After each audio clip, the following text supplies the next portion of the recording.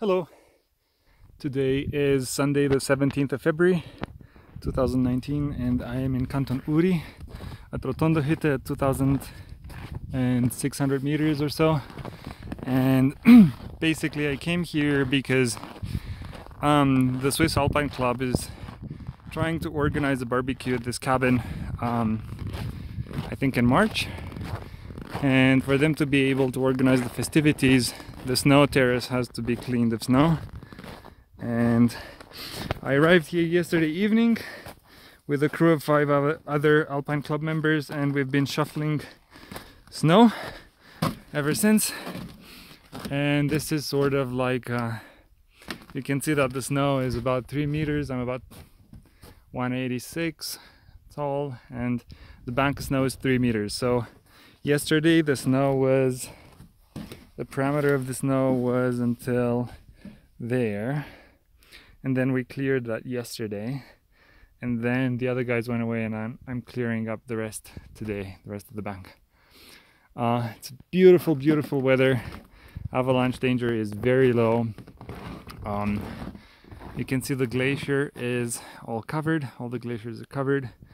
It's already starting to feel quite uh, warm down in the valleys spring is coming in, but here it's uh, you can still feel the the seasons changing and the winter on the wane. But here the um, weather is still um, cold enough to have lots of snow.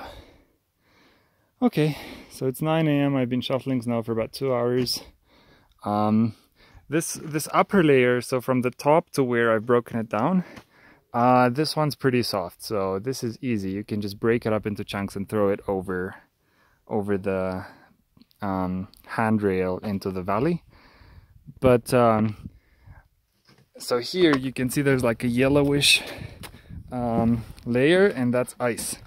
And um, the it's very hard to break through that. So I have to do it. I have this shovel and I got some other tools. The other guys are inside. Um, so uh, I think what we're going to do is get a pickaxe and break it up into uh, smaller chunks and then shove it uh, with the shovels over the handrail.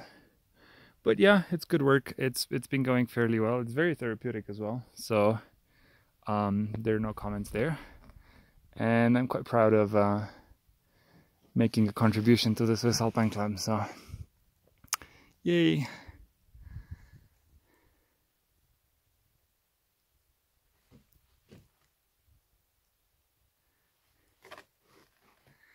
Okay. See you later.